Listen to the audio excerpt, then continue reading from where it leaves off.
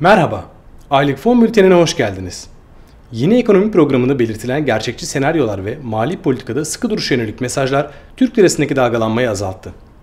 Yurt dışında ise FED faiz artırım sürecini şeffaf bir plan çerçevesinde gerçekleştirerek oynaklıkları engellerken gelişen ülkelere yönelik portföy akımları canlandı. Bu gelişmeler çerçevesinde yatırımcılarımıza 3 farklı fon dağılımı öneriyoruz.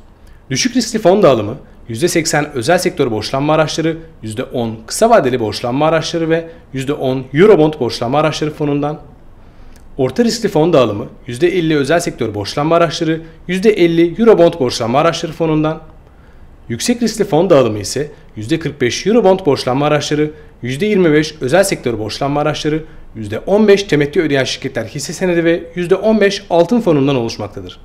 Detaylar için yatırım fonları bültenimizi inceleyebilirsiniz. Gelecek ay görüşmek dileğiyle.